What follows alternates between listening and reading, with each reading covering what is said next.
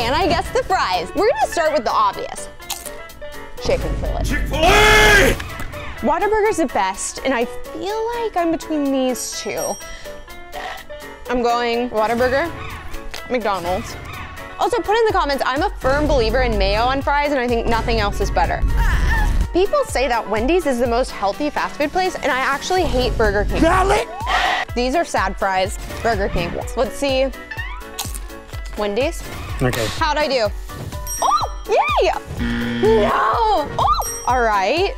I'm disappointed in myself. I did pretty good. What impossible food should I guess next?